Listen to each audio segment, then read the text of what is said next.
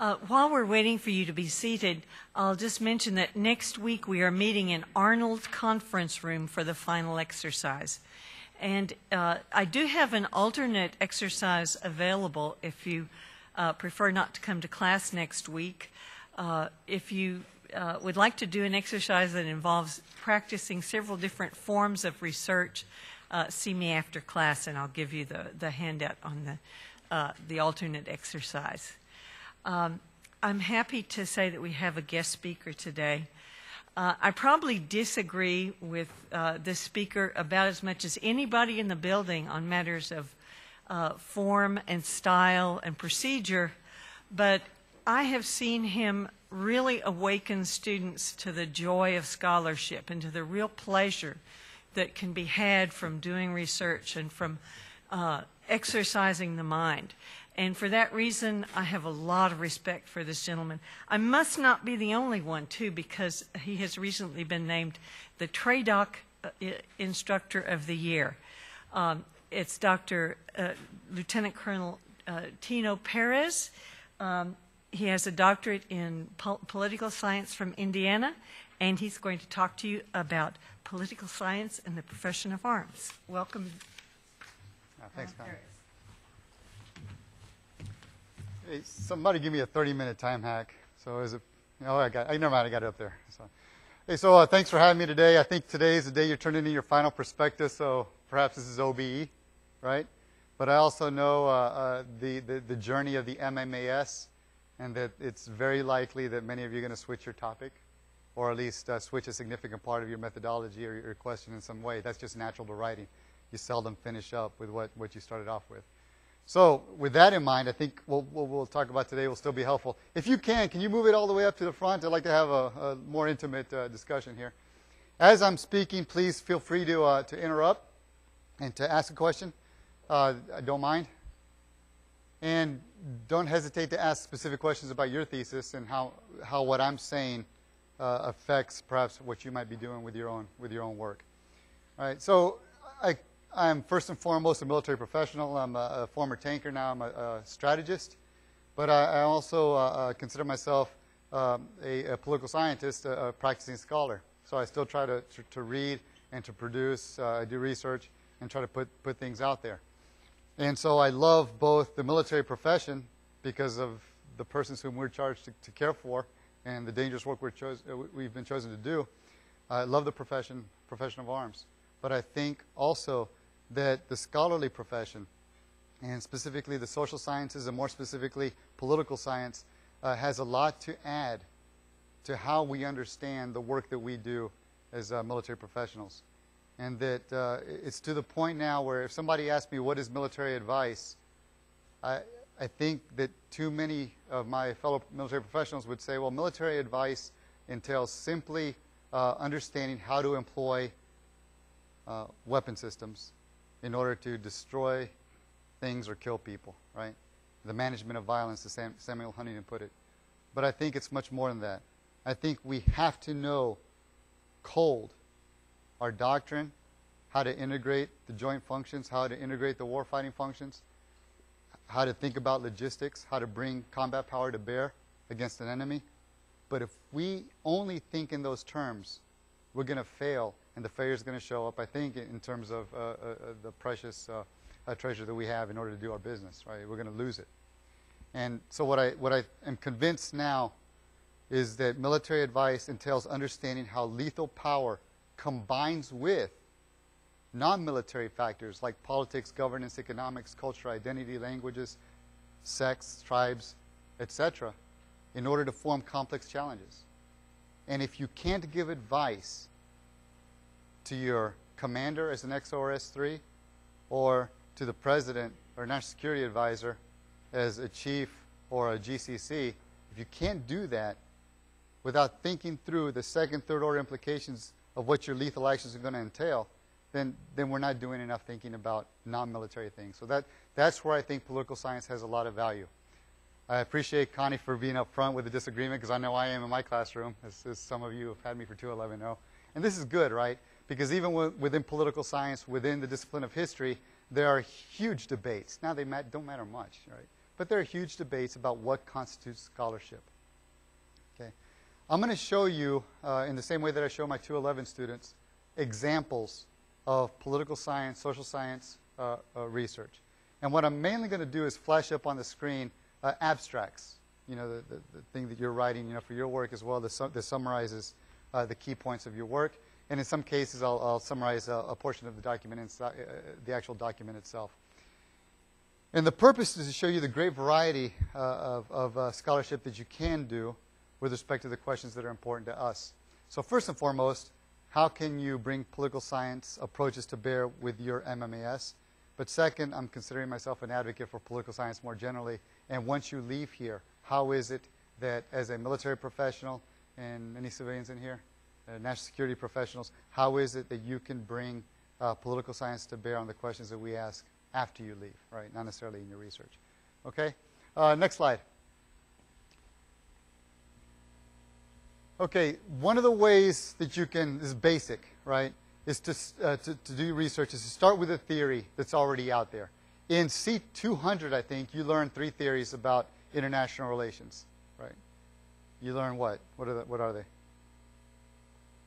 Realism, liberalism, and constructivism, right? And a lot of instructors blow off constructivism because it's too hard and you know, don't quite understand it. Not, not that hard, okay? It's important. Three theories. So you take one of them and you test it. You go out someplace, you know, in your a geographic command or where you're going to be regionally aligned or some area of the world where you're interested in, and you test the implications of that theory for that region, right? Or the other thing you can do is to uh, test an existing theory uh, um, having modified it. So you take realism and you modify it in such a way that is something new, something you created, and then you test it uh, by applying it to a specific case. Let me flash up an example. All right, next slide, please. Okay, so this is uh, Rosato and Schuessler. It's a uh, article from uh, 2011, a realist foreign policy for the United States. Okay, now I put the whole abstract up there so you can see several things. One of the things you'll see in almost all of these examples is the use of the first person right? And this is what Connie and I disagree with. These are the best researchers, the ones getting published right now in the best journals. And you'll see that you see, you see the term we or I. These are the scientists that are giving you the report of what they did. Now, that doesn't mean you can use we and I throughout the report, but it means when you're stating what, what the significance of the paper is, what you're doing, it's okay to use first person. It wasn't about 50 years ago now it's, it's pretty standard. Eight out of 10 articles in any journal will have first person. Okay? This question will be decided by your chair. How it goes, that's, that's uh, what Dr. Bauman has stated. Okay, so what did they do with this theory? Well, they said, look, most people, when they talk about the theories, international relations theories, they say that realism is a warmongering theory. It's an aggressive theory. When we talk about it, we teach you about Hobbes, and we, we teach you about the state of anarchy, and we teach you that nations are competing with each other in order to gain more security or to gain more power. Right, and lots of variations. But what these, what these authors do is they look at the existing literature uh, with respect to realism. They stay t- true to it, but they introduce modifications so that what comes out is a realism that is to be understood as more peaceful that if you pursue realism the way these authors understand it in terms of a national security strategy, what you'll end up doing is having more peace and you'll fight fewer wars. And most importantly, the outcomes will be more in accord with our national security objectives. So that's what the authors do. They take realism, a well known theory, people have been talking about it for decades, they change it up a little bit, and then they offer new predictions. And then what they say is they go through and hypothetically, argue that if the United States had pursued national security in terms of this understanding of realism, we could have avoided all of the major wars that we fought and still gotten better outcomes. Now, in some cases, like World War II, it would have meant that nations were intervening much earlier, like in the 30s, as opposed to waiting to the 40s. It would have, you, had, you would have had to move your aggression earlier. But fewer wars, more peace, and better outcomes. This is a paper that anybody in this room can write because there are no numbers. There's no statistical analysis in it. There is no econometrics. There is no formal modeling. Okay?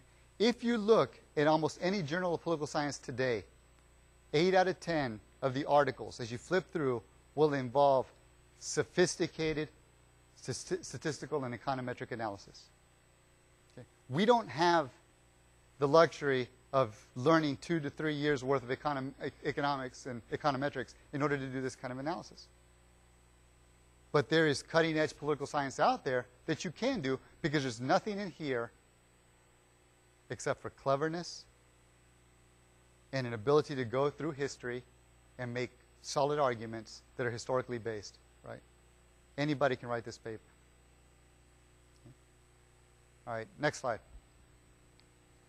Here's another one. Jacobs and Page, who influence, influences a U.S. foreign policy? My students 211, you've seen this already, uh, forgive me. Uh, might be a good refresher. When we think about uh, U.S. foreign policy and national security in this building, we think of it in terms of a very laboratory, sterile, clinical way. We produce national security strategies. These you know, generate national defense strategies, uh, uh, national military strategies, et cetera. It goes all the way down, right? And then that has effects on budgeting, et cetera. And it's a very clean process. And the idea is that you have people in a presidential administration, the National Security Council at various levels, who are looking out at the world and are prioritizing what it is that we ought to be doing with our resources. And they're making lots of good arguments about this is more important and things like we should rebalance, you know, more towards Asia and South Pacific, etc. It's too clean. These are highly political documents, and the documents, perhaps you could argue, don't really matter. What this article is saying, okay, let's let's look at what's out there. People make different arguments about who influences U.S. foreign policy. Okay? This is a democracy in the United States. Who do you think ought to determine foreign policy in a democracy? What might be the first guess? Yeah. The people and elected leaders responding to those people, right? Uh, we, we say, you know, the president has a mandate, and people can question this, but the president has a mandate and he wants to do this because he's been elected. Well, the people supported him his election, so he's in. Okay. What's another? All right, some people describe our democracy as being a pluralist democracy. So it comprises interest groups, right? Business, labor interests, etc. And they fight it out, like the National Rifle Association and then anti, you know, gun control and pro-gun control, anti-gun control. They'll fight it out, and depending on who wins that war, with the U.S. government being the arena, that will determine what the policy is, right? So some, some people say, yeah, democracy is government by the people, but other people say, well, it's actually uh, uh, uh, pluralism. Our democracy is pluralist, in which you have competing groups, they hash it out, and then the government, as the umpire, decides, okay, this is going to be the policy. Who else? Okay. Other people say it's something, they use a fancy word, a fancy term, epistemic communities.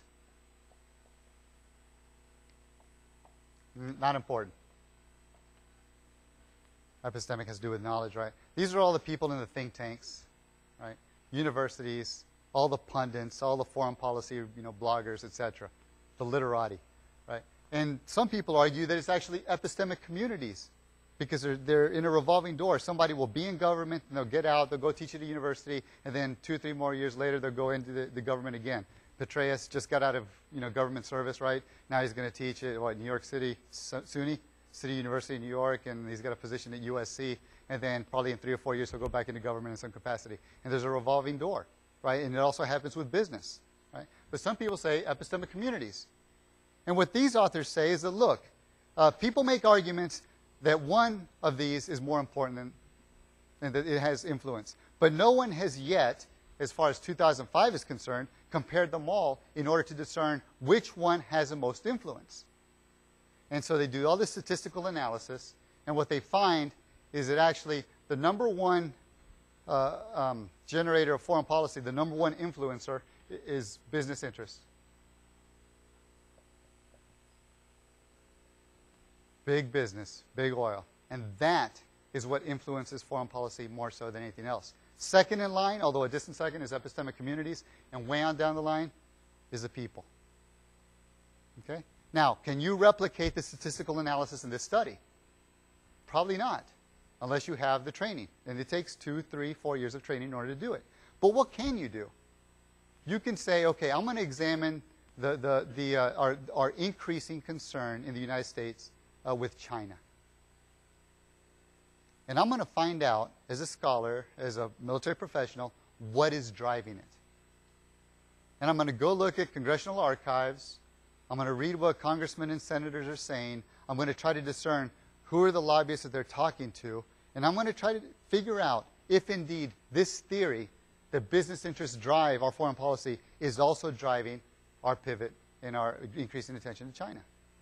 And you can do that study. It just means, you know, rolling up your sleeves and going to the library and asking for resources. Okay? This is something you can do. And it's interesting and it's scholarly. Next, uh, next slide, please. This is Stathis Kalyvas.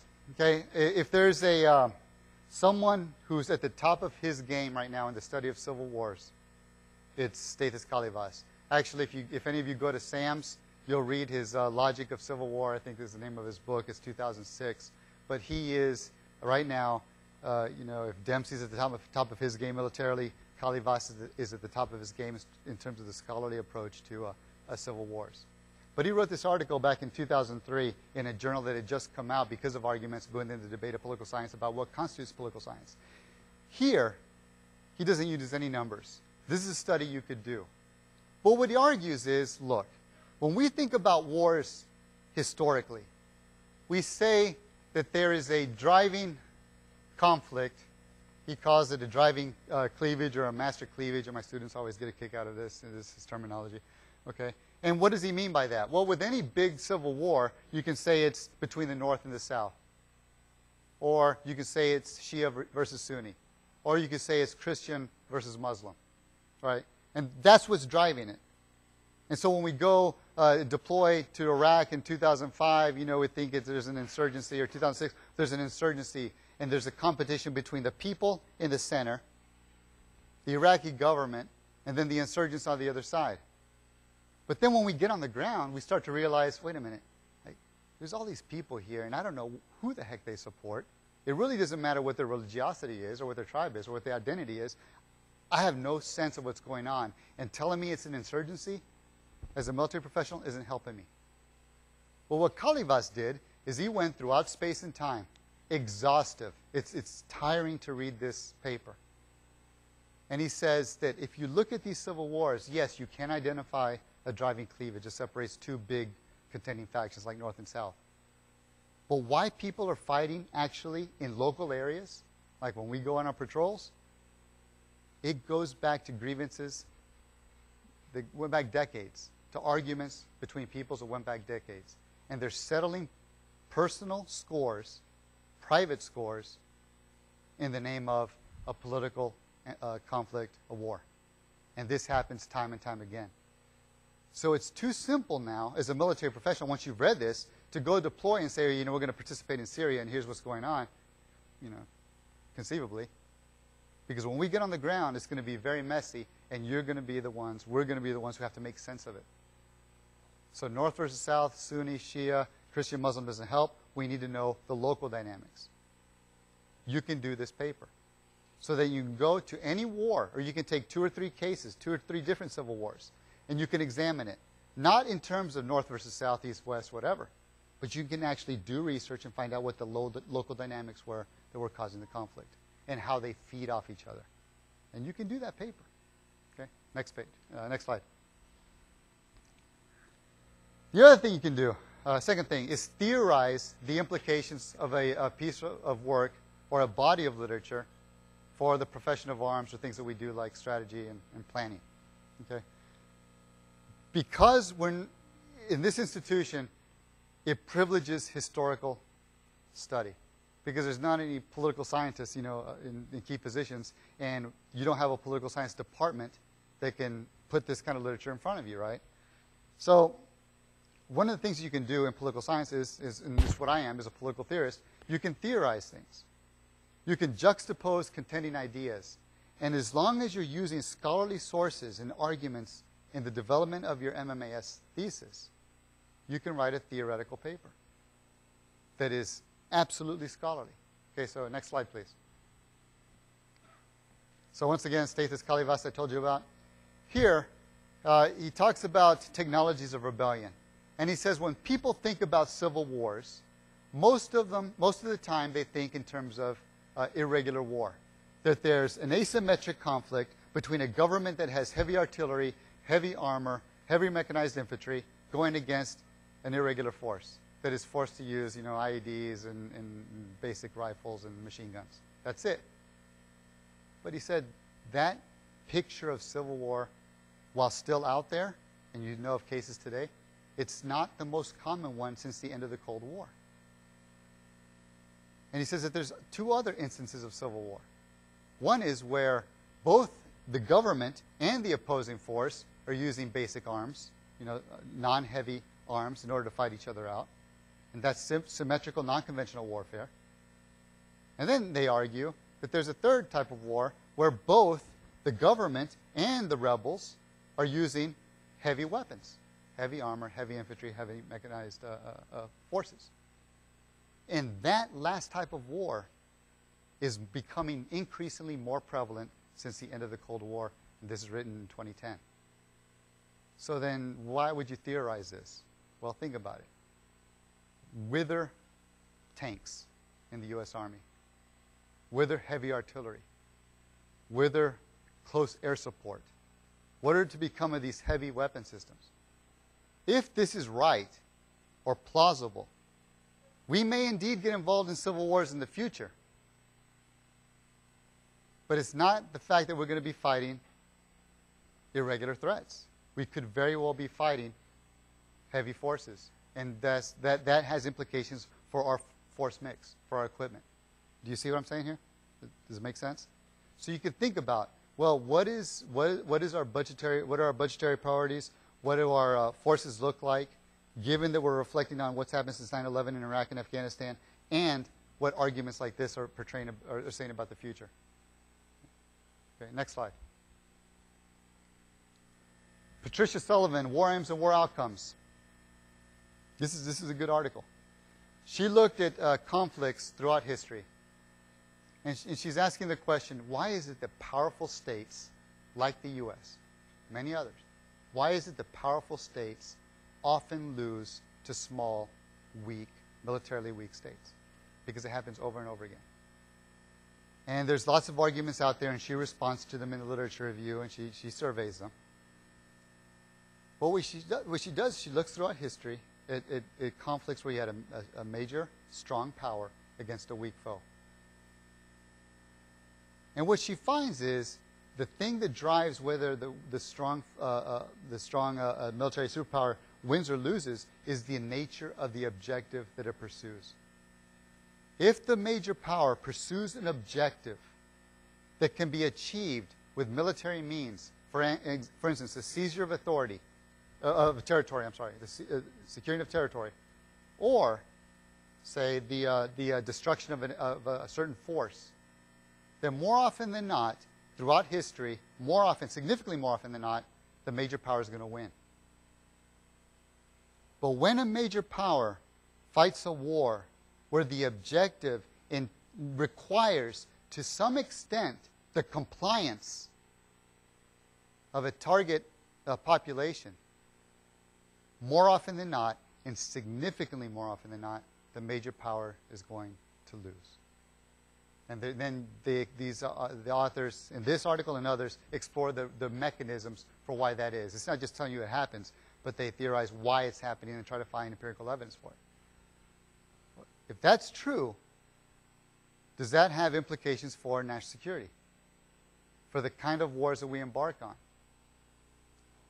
Not too long ago, I think it was about, it was in March, and uh, Admiral Stavridis was asked uh, uh, by a uh, senator, says, hey, can we uh, use military power to get rid of Assad?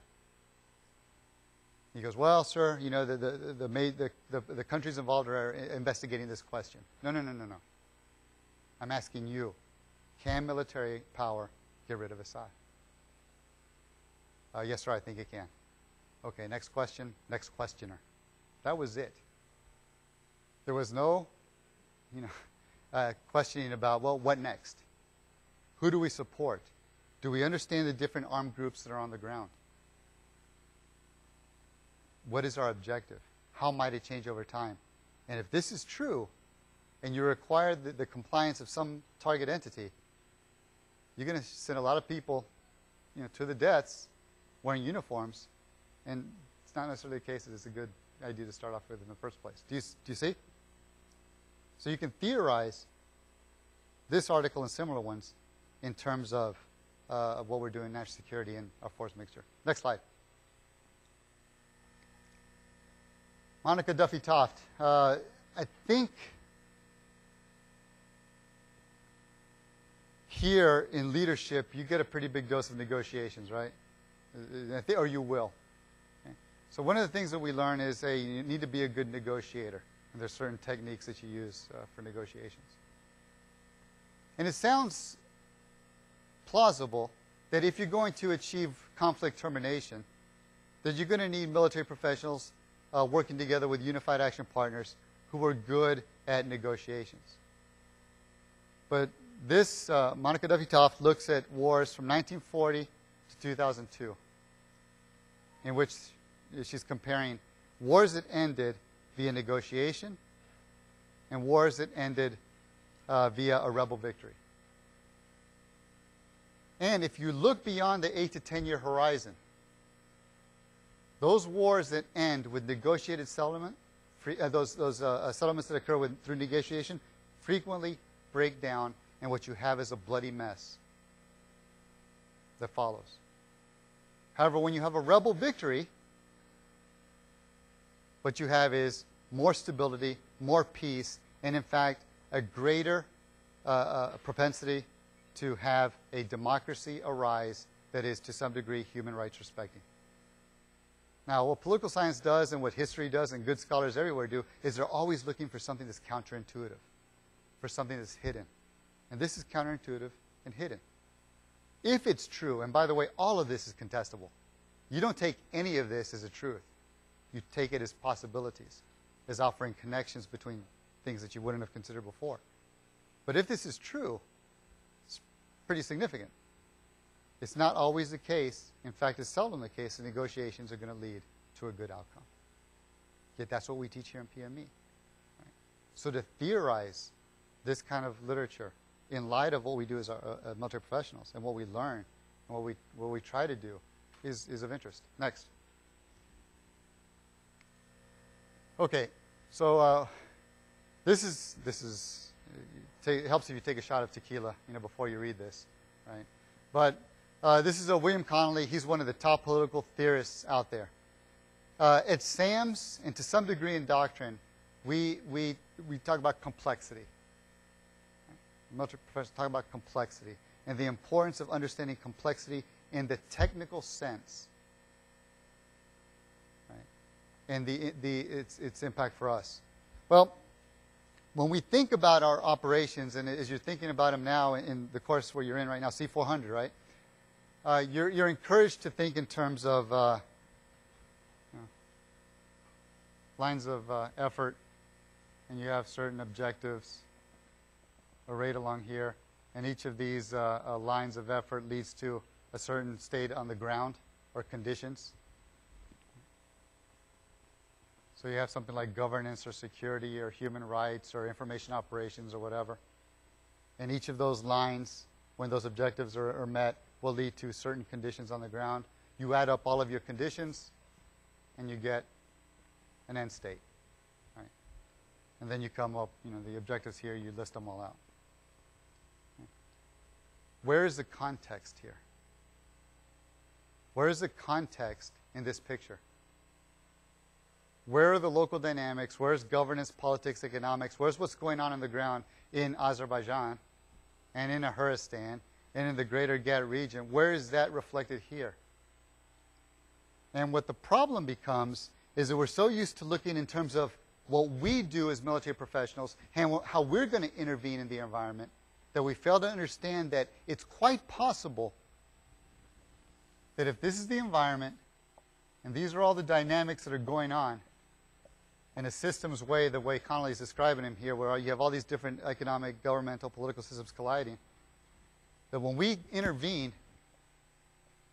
it may be this big. And we may, really may not be the driving factor in terms of what happens here, in terms of conflict termination. And that's quite possible. And looking at the world in terms of complexity starts to disturb a lot of what we think about in terms of military interventions. There's a, there's a study. Uh, Douglas Ollivant was a lieutenant colonel and was a G5 planner uh, for uh, uh, First Cav. Political theorist like myself, studied in Indiana. I followed him uh, to West Point and then afterwards. He was the chief planner, the, the chief writer for the Baghdad security plan. And while he was there, the narrative was that, hey, we have FM 3 24 has just been written. We have General Petraeus that has just uh, taken over at MNFI. And uh, uh, by the way, there's something going on in Anbar, and, and, uh, and we're trying to uh, co opt the population. The number one thing we're trying to do is no longer build up the security forces because that's not going to happen in time. What we have to do now, number one, change from Casey, is protect the population. And what happens is somehow around 2008, 2009, violence drops. It does drop.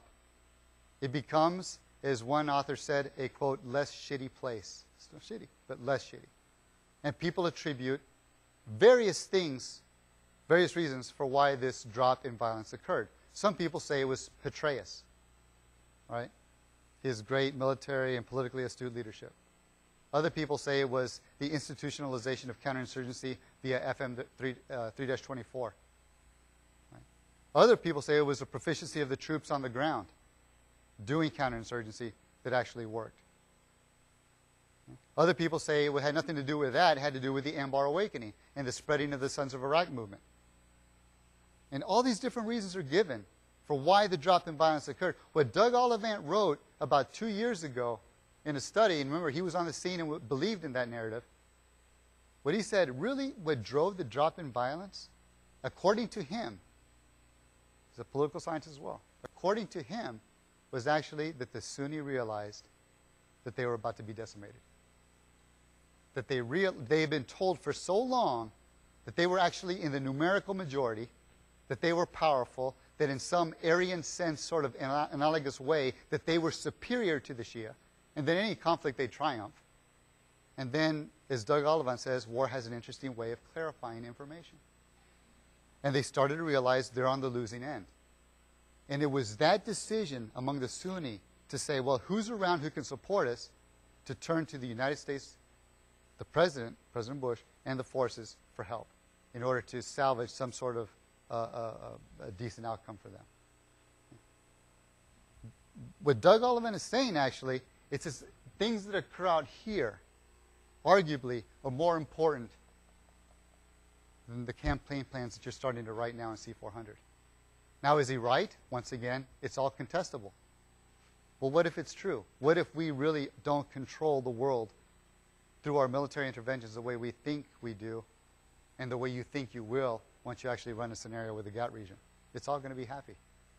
Right? You're going to bring, it to a good conclusion. Why? Because of your lines of effort and your objectives and your conditions and your end state and the great performance of your mythical soldiers and against a Haristan, right? What if the world doesn't work like that? Okay. All right, uh, next. Okay. In political science, and I think in scholarship generally, and especially I think history as well, it's very difficult to say something small, albeit important, with proof. Now, you can go on foreign affairs and write an article there. Right? That's not scholarly. You can go in Time Magazine and write an article there. You can go on foreign policy, a blog or the journal itself, and write an article there and get it published. But that's not scholarship. Those are wide sweeping opinion pieces about the way things are or the way they should be. And this is interesting because I got an email this morning from a colleague uh, where he received a, a, list of, uh, and I guess something that War College normally does, where someone compiles scholarly readings, you know, that, that we ought to be paying attention to as military professionals. Foreign Affairs, Foreign Affairs, Foreign Affairs, Joint Forces Quarterly, uh, Survival, which actually is, you know, good. Uh, Small Wars Journal, which can be scholarly, but, but oftentimes it's just an opinion piece. There's nothing here like the literature that we're talking about that really rigorously looks at the evidence and tries to prove that something's the case. Okay? So, given that state, what you can do is amass some evidence for your arguments and call it, quote, a plausibility probe. You create a theory or a hypothesis, and you say, I'm going to look at these three or four or five cases, and I'm going to gather evidence that suggests what I'm talking about in my theory actually is playing out in the real world. And you say up front in your methodology, this is a plausibility probe. This is really useful. This really useful for the people in this room. This is a plausibility probe. I do not intend for the evidence I amass in chapter 4 to be conclusive about my results, but it is suggestive that my argument is worth developing further and throwing out there for, for other scholars to consider, to put it in, you know, online so other the students later on can respond to it. And this is very common, and it's something that you should consider because of the, the amount of time you have to really do your work and the fact that it's, it's a perfectly respected uh, practice. You can also proceed inductively from a set of cases, uh, uh, and I'm, I'm only going to go into that. Next, next topic. Hey, sir, I've got a question on that one. Yes. Uh, Dr. Lowe, you talked about an exploratory study. What's the difference between an exploratory study then and a plausibility probe?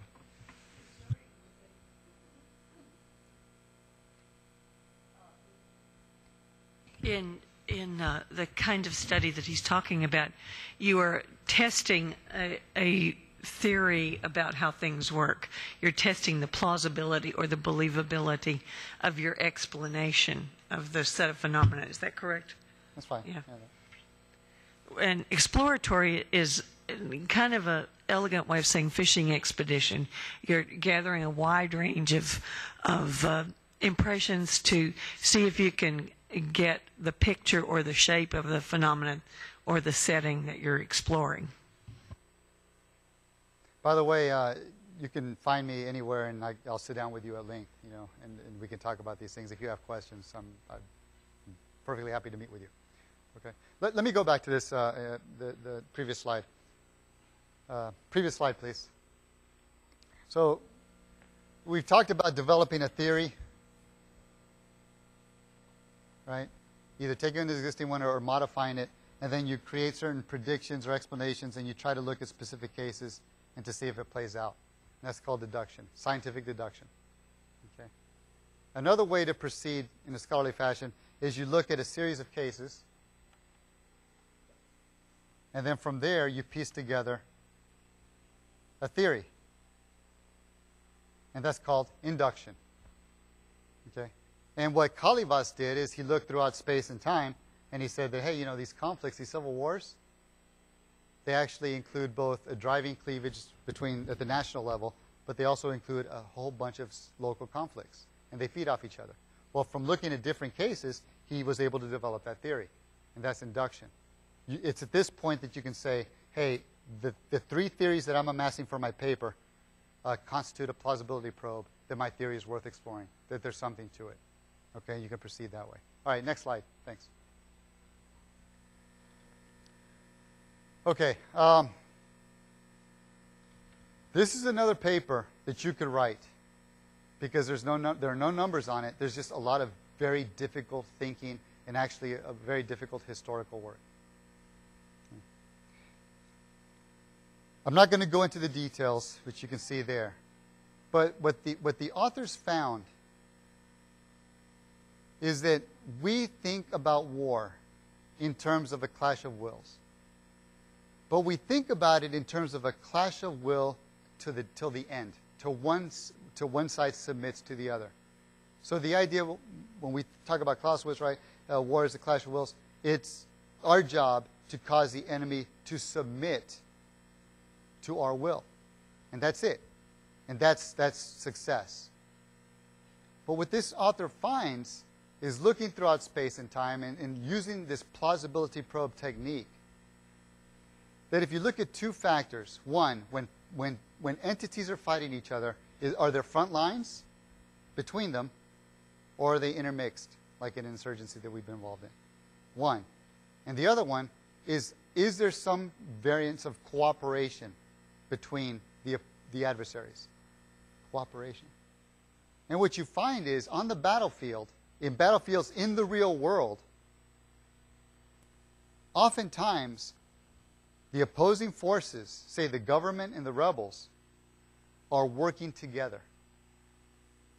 They're working together either with say, drug traffickers in order to both benefit from that money, or as uh, Stanley McChrystal in his recent book talked about, the, the Taliban issued a card to, I think it was Red Cross workers, Red Crescent workers, whatever, and they were, they were approved by the government, the Afghan government, to go out there and do polio vaccines.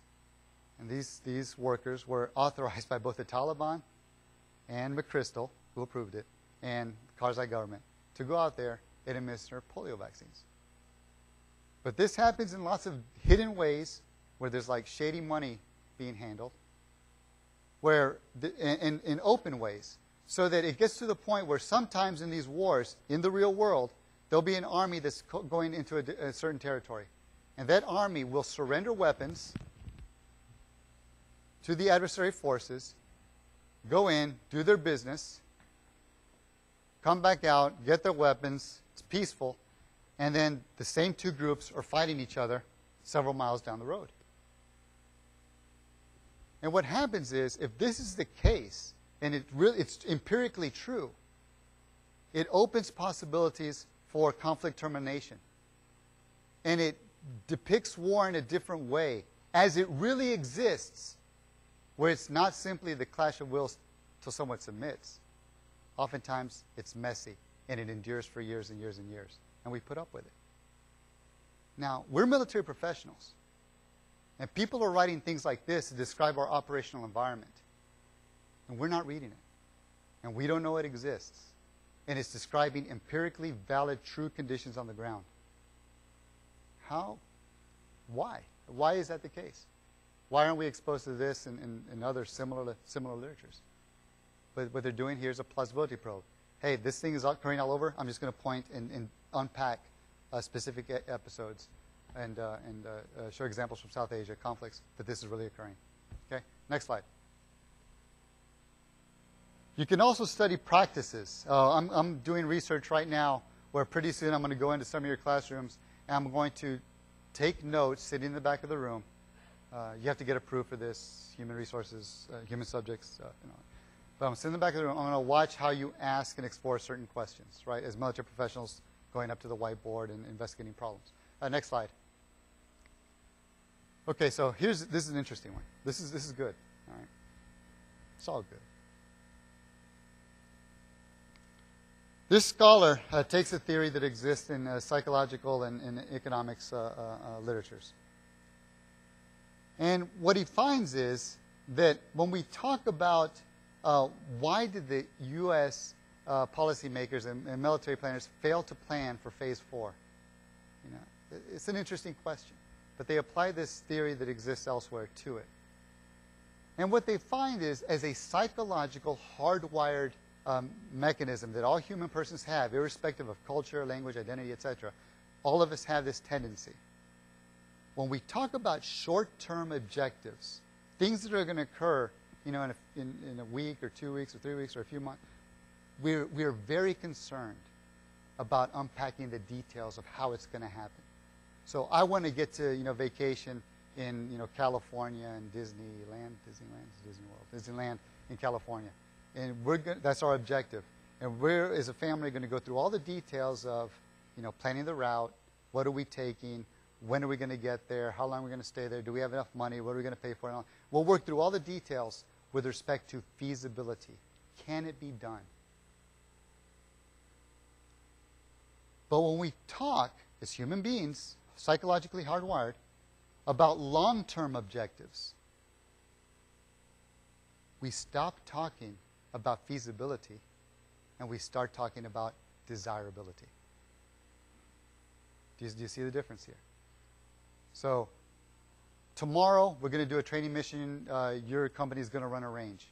And the lieutenant who's just got it, you know, put on him, he's going to go through a bunch of, uh, a, a big ordeal, and you're going to go through an ordeal checking him on making sure that range is 100% good to go. The objective is a range. All the details. Who are the NCOs? Who's going to have the paddles? Who's going to be up in the tower? What are the score sheets? What are going to? It's all going to be laid out. But if I say I want a stable and secure Afghanistan, we won't evaluate it in terms of the same feasibility criteria.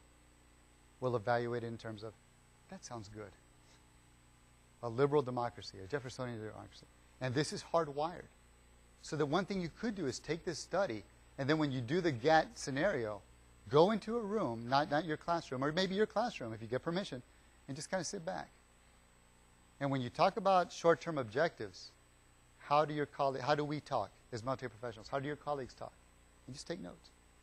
And when they start talking about we want a stable, secure Afghanistan, uh, Hurst, uh, Azerbaijan, where Kurdistan is south of the border and the border is intact and protected on both, ah, do they talk about desirability or feasibility? Do they make that transition? And you test the theory. That's pretty neat. Nobody's doing work like that, but it's perfectly valid scholarly work. Right? First person, I argue. Ah. Okay, next slide. All right, juxtapose doctrine or prevalent military understanding with cutting edge literature. Next slide.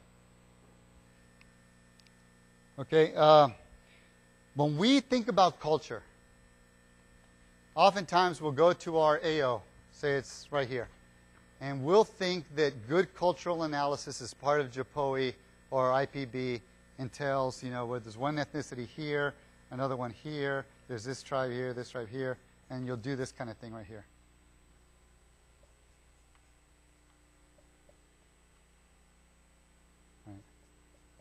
You, you'll, you'll, do some kind of little picture that shows, you know, where each of the different ethnicities uh, lives. And the presumption is that there's going to be conflict here and here and here because they don't like each other, because they have fundamentally different beliefs about religion, about tribe, about sect, about whatever. Right? And we say, well, be, when there's different opposing ethnicities, different ethnicities, juxtaposed next to each other, they're going to fight. And we, we all think this way. And so we'll look at Azerbaijan, we'll divide it up. Well, you know, who are, what are the different ethnicities and how do they dislike each other? Well, we fail to see is that in the real world, and Kalyvas is very good at this, that doesn't work, right? It doesn't look like that. And one of the, so this study you can read the abstract, but he says, you know, Vietnam. If you go back and you you, you study what was going on, it was rife with ethnic conflict. Well, we don't think about it in terms of, uh, there were multiple ethnicities in conflict with each other. But we don't think of Vietnam that way. We think of it in terms of an ideological war. And there's reasons for that. Okay? And it's not necessarily the case that what was happening in Iraq at the time he was writing, 2007, that it was simply Shia Sunni. And because there were these differences, that's the reason you had war. Just because you have different ethnicities living next to each other, even if they're in conflict, doesn't mean that you're dealing with an ethnic war, which means how you go about fighting it and how you go thinking about how it should end. It matters. Okay, next, next slide related to the same topic. This one's just out. Uh, Cambridge University Press. Uh, Fotini Christia. This is the kind of person who should be talking to you in front of, you know, Eisenhower. This scholar is looking at actual armed group leaders, tactical leaders on the ground. And she looked at both uh, uh, uh Bosnia, 1940s, and then uh, early 1990s, and then she looked at Afghanistan before, you know, 9/11. You know, when there was the uh, uh, violence among the different tribes and people. And then she, with, using in-depth, oftentimes she interviewed these actual armed group leaders. And then she looked throughout space and time and did more statistical analysis to back up and justify the argumentation. But she says, look, you know, we think that when we look at these conflicts, that we ought to be thinking in terms of uh, language and culture and understanding history. And what she's arguing, none of that matters. Because what happens on the ground in real wars, and this is undeniable, is that people switch their sides. Armed group leaders switch their allegiances as often as over the course of a month you, will switch your pickup basketball team. That's the image, the, the analogy she used. And the, the principal concern has nothing to do with identity or fundamental deep down beliefs, but it has to do with strategic calculations. Am I on the winning side? If I'm not, I'm going to move to the winning side.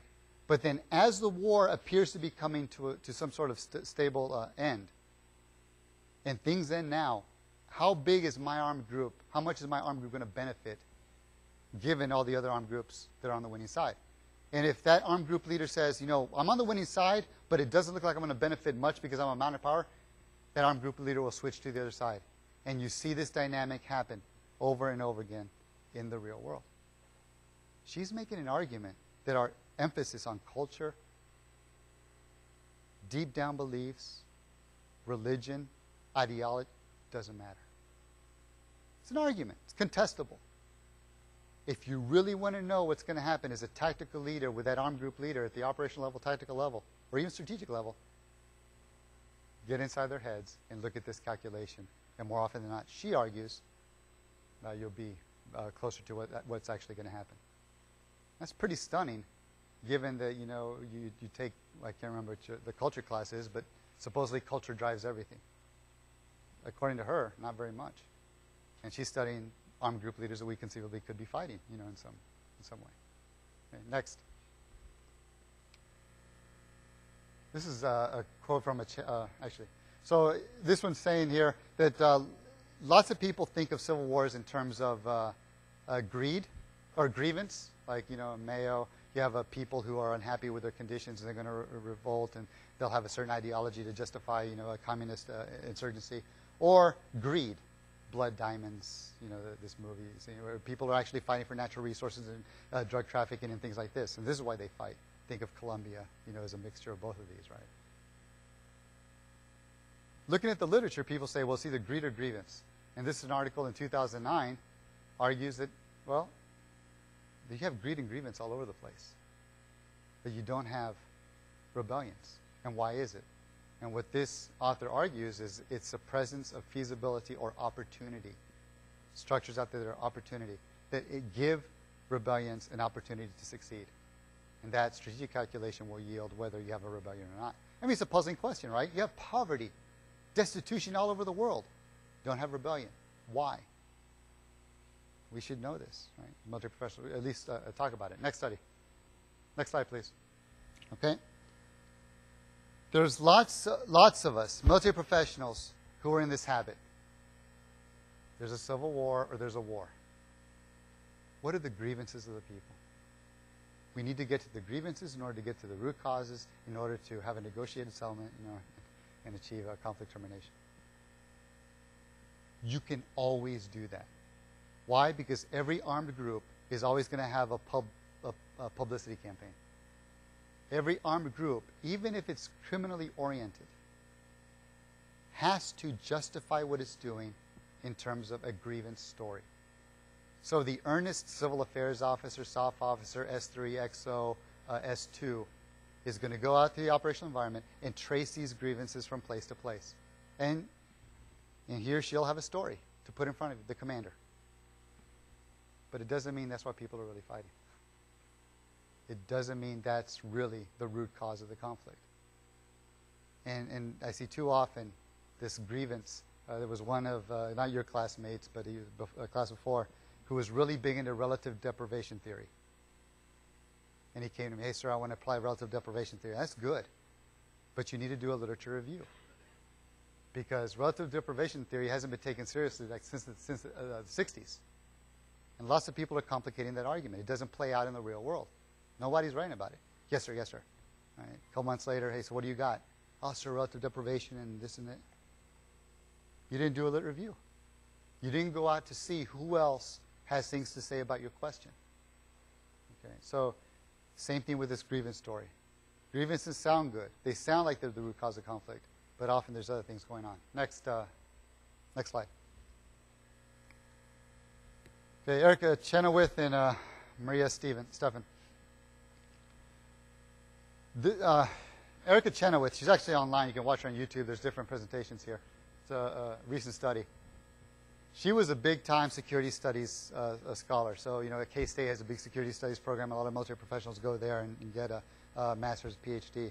She was a big time, you know, guns, bullets, you know, basics, the kind of stuff that would interest us. But she went to some uh, uh, lectures and was exposed to different literatures. And she ended up uh, learning about nonviolent protest, where people go out and in an organized sort of military planning sort of strategic way engage in protests, not showing up for work, protests in the street, uh, peaceful rebellions, etc., stopping what's going on in society and, and in government. And she created her own data set. And she found when you compare violent approaches with these nonviolent approaches, the nonviolent approaches more, way more often win out in terms of securing better outcomes. Now, I, I hesitate to say this to you because it sounds so like kumbaya and John Lennon Imagine type stuff. But it's a rigorous data set, and the work has been well received. And there's something to it. And you can see the arguments for yourself. You go on YouTube, type in Erica Chenoweth, you can watch her argument. But it's, it's pretty compelling stuff. But if we're debating whether to send troops in harm's way, because we want to go, you know, in, in the gap, you know, where, where all this, you know, terrorism might arise from and strike, you know, the, within the U.S. And we're debating sending troops into harm's way to do it, or in some way supporting nonviolent protest and rebellion. You know, which is a better option for, for like our troopers? It's, worth looking into. It's worth at least listening to the argument and knowing what the literature and the evidence is. All right, next. Okay. Uh, I'm going to speed it up here. Um, oftentimes, what you saw here was scholarly literature responding to other literature about the same questions. Frequently, though, you all are interested in things like close air support or joint security operations, right? Or things like within your branch, the future of armor, right? The, the next artillery system. You're interested. And what I used to say when I first got here was, those aren't scholarly questions. Let's not do them. But that's not right. Because another way to do scholarly work is to apply scholarly tools in order to answer those questions. So I'm working with one student now who, who is uh, she's studying joint security operations, and her argument is that we screw this up, you know, JSOs. Uh, another uh, student is looking at uh, close air support. It's in your class, and and how the current system, the current doctrine, you know, between the different services, when put in place, yields a close air support system that is suboptimal. Okay, right? A way to do this analysis is to do institutional analysis. Elinor Ostrom, the third author here, was my uh, teacher at uh, Indiana University.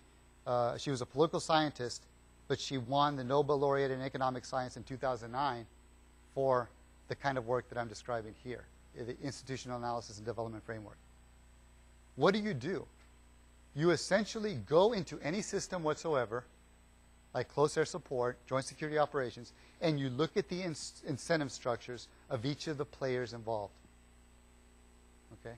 Think of another student right now in LDW, my LDW class is studying uh, uh, CERP. Does it lead to less violence or not? And how does it lead to all this corruption and you know a waste? Because we know it does. He looks at the stakeholders involved in the in the uh, execution of the CERP program in Iraq looks at all the arguments that have been written about it, and he finds out what the incentives are for each of those key players. Do the same thing for close air support. Do the same thing for joint stability, uh, joint uh, security operations. And what you're looking for are perverse incentive structures that cause rationally thinking people to act rationally but yield bad outcomes. Okay? What's an example of this perverse incentive? Well, in Africa, a government decided to pay its army uh, combat pay. You know, sounds familiar? Probably wonder where they got the idea. Well, there were these soldiers who were in barracks in a safe area. They're rational. They want more money. What do they do? Sneak out at night, plant some, plant some uh, uh, bombs. They explode later on, and guess what? Now they're in a combat zone. They get more pay. They set it off themselves. These, these kinds of things happen all the time, especially in development aid, especially in things like CERP, especially in security cooperation, especially when training other armies. If you're training that army and you're the one doing all the work when in danger, you're tra training Afghan forces, you're not putting them in front, they have the incentive rationally to let you do the hard work. This institution analysis, you know, she won the Nobel laureate for it, very powerful. And you can, uh, uh, the of a student who's a doctor. You want to compare uh, the incentives of that military professional to be a you know a military professional on the one hand and a medical professional on the other. What are the incentives we create for that doctor, you know, to do one thing or the other? It, this this institutional analysis is powerful for a whole host of questions. Okay, uh, next. Another one is looking at things in terms of uh, causal logics. Okay. So there's different types of uh, arguments you can make about why humans do things. Okay. If a lion comes in through that door, it doesn't matter what my culture is, what language I speak, what religion I am. And it doesn't matter what those things are for you, we're all going to bolt out this door. Okay? That's a structural cause. Okay? If I'm thinking about doing a rebellion and I'm in an archipelago, or I'm in mountainous terrain as opposed to flat terrain where I can't where I can't hide anywhere, more often than not, according to someone like Collier, I'm going to do a rebellion because it's easier. I can fight in this kind of terrain. That's structural logic describing what I'm doing. Institutional. Institutional is what describes what the, the purpose incentives of what those uh, the African soldiers did you know, planting those bombs near their barracks so they would get combat pay. Ideational, the idea of counterinsurgency that Petraeus introduced, that's what caused us, you know, to do certain things in the army. Psychological, the notion that we look at near-term objectives in terms of feasibility and long-term object- objectives in terms of desirability, that's hardwired into us. That's a psychological cause. According to this, Craig Parsons, there's no other causal logic out there. Those are the four. If you're going to describe human action, there's nothing except for those four that you can use. And my students, for three sessions now, have tested that, and it works out pretty good.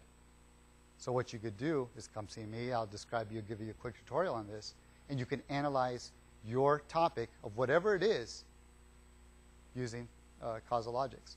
And it's applying cutting edge 2007 scholarship to your question.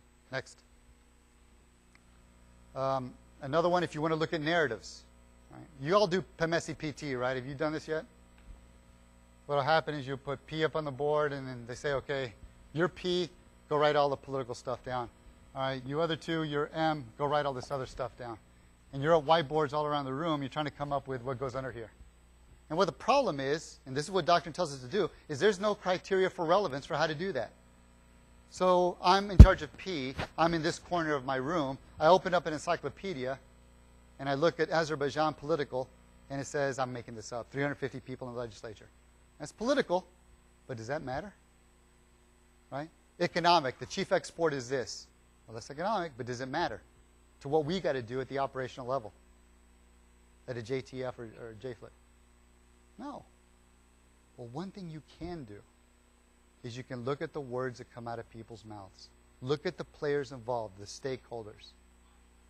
And you can look, and what you'll find, according to Smith, is that they have different types of stories. And they're, all, they're really not separated, they're mixed in together. Did anybody see Gaza, the fight for Israel, where Gershon Cohen is this general and he's told to evacuate uh, uh, Gush Katif, uh, 7,000 red. Did you all see that? Uh, all right. Um, a good exercise is to go to that and then assign uh, two or three people to each key player in there. And what happens is you'll get the perspectives of the top rabbis in, the, in, in Gush Katif. You'll get the perspective of Gershon Cohen. You'll get the perspective of the two-star general who is above him. You'll get the perspective of the rabbi and his family. Remember in that in that uh, in, in, the room they were finally evacuated. You'll get the uh, perspective of uh, the journalist, of the strategist in the Israeli uh, uh, government who also made comments. And then you piece those together. And what you get are different stories about uh, politics. Who should be in charge? Different stories about economics. How should our resources be distributed? And this last one, ethically constituted stories. These are the stories that give us the deepest meaning about what we believe and why we, why we do the things we do. Religions, philosophies, systems of ethics, etc. When, when, a, when a rabbi says that God told us to settle this land. That's an ethically constitutive story. It's also political. And so, to that person, to lose and be separated from that land is just as painful and just as meaningful as being told to separate from his or her wife, from his wife, her spouse. her spouse. It's that painful. So if you want to learn what a, a good criterion or a set of criteria to know what to put in each of these different variables, PMESII-PT or PMESII at the joint level, look at narratives because the stakeholders who are involved will reveal through these three different types of stories what goes in each of those columns. It's very powerful. And these stories, key leader engagements, intel reports that you collect and, and, and produce, intel reports from higher, scholars, interviews, patrolling. That's where we get that information. And it's real. That's what you do PMESII-PT analysis with. And this is the next project for me. Uh, next. William Connolly. Right now we study ethics in the following way.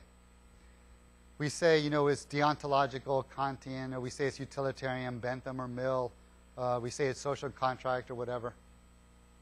Connolly makes the argument lots of people, billions, most people in the world, don't think this way. Most people in the world don't derive their ethics from some theoretical, philosophical, religious base and then figure out what they are. Yet when we learn ethics here in the building, that's exactly what you learn. And if it's not one of those ethical systems, if it's not Kant or Mill or, or Aristotelian virtue theory or whatever, then you're a relativist. And you're a bad guy. Because a relativist can't say, you know, what's right and wrong. Very, very simple, very, very like 1920s, 30s, 40s. There's different ways of thinking about ethics now. And especially in a military profession that takes people of many different beliefs, and we have to form an organization whose members are willing to fight and die for each other. There's perhaps more sophisticated ways about thinking about ethics that we should be thinking about. This is one of them. It also, when you think about complexity the way William Connolly does, how you think about interventions in the operational environment in your AO and in your JOA change because of what you what you study here. All right, next. Okay. Um, I'm not going to go into this. Uh, actually, abductive reasoning. Okay. Give me a moment.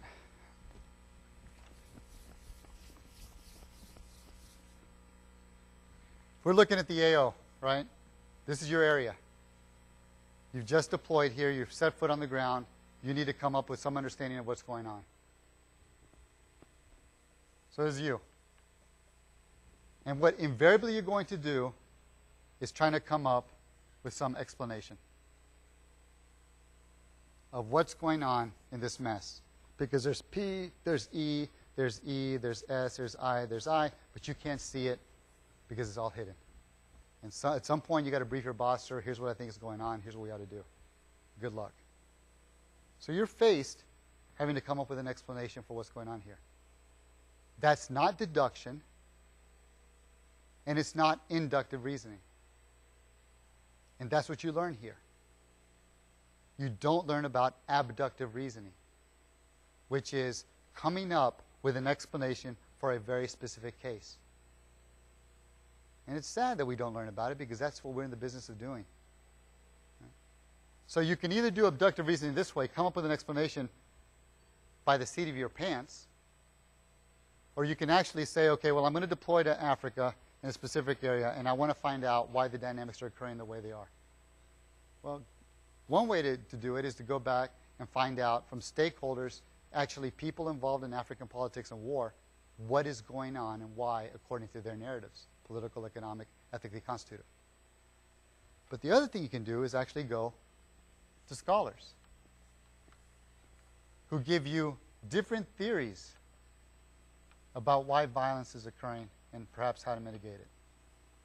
And you become familiar with all these different arguments so that you can then create better explanations for what's going on here. And when things don't go the way you would predict in your explanation, and they seldom will, you'll at least know what some of the other possibilities are.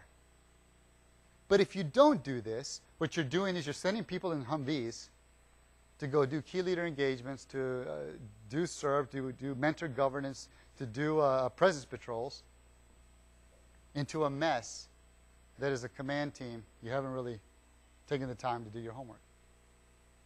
So that's abductive reasoning. If you're going, say, regionally aligned unit to Africa, And there's all this stuff here for free on JSTOR in the Carl Library about why sub-Saharan Africa works the way it does.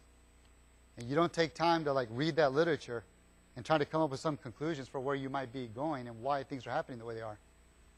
We're not doing our troopers the best, the best service. But this is abductive reasoning. This is what we do as military professionals. And it's something that's only discovered in the early 20th century by Charles Peirce. People didn't write about it before. Okay, next. All right, I encourage you to use scholarly sources. JSTOR. You should all know what JSTOR is. All the journals that I cited today, you can get them on JSTOR. University presses, Chicago, Cambridge, Oxford, Stanford. Go to the best presses. If you're doing something on China, why not go to the best presses and take a look at what their most recent China you know, uh, uh, books are? Uh, Perspectives on Politics It's an example of a journal where scholars are consciously trying to do problem uh, based research. That is, they're trying to do research that is grounded on real world problems out there in terms of war, politics, etc., and trying to come up and communicate in ways that non scholars can, can, can appreciate.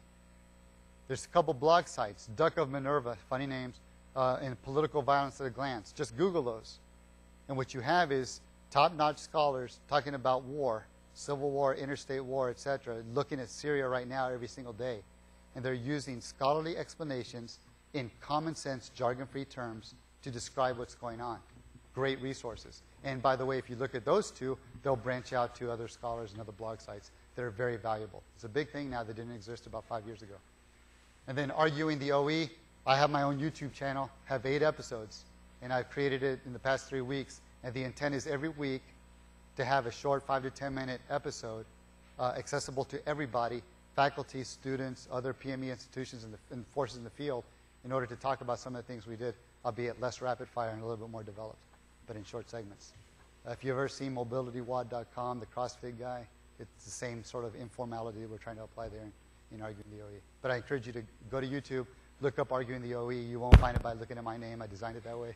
Just arguing the OE, and, and uh, you'll see uh, there's five episodes on design that for some reason the faculty as a whole aren't sharing with the students, and I don't know why, because it shows how McChrystal used design or elements of it. Lieutenant Colonel Richardson, who's now 3rd ACR commander, how he used design in Iraq in 2008-9 and General Rodriguez, who was a commander at the operation level in Afghanistan, now commander of AFRICOM, how he used design systems thinking.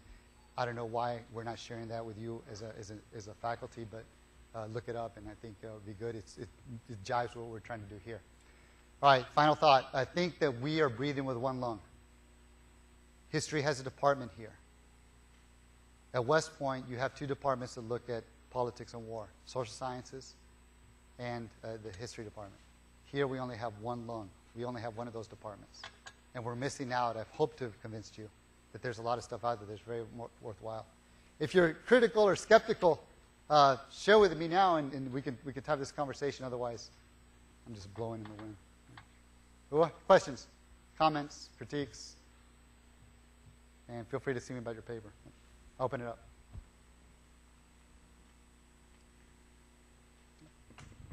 None? All right, cool. Thanks. Appreciate it. Thanks, Connie.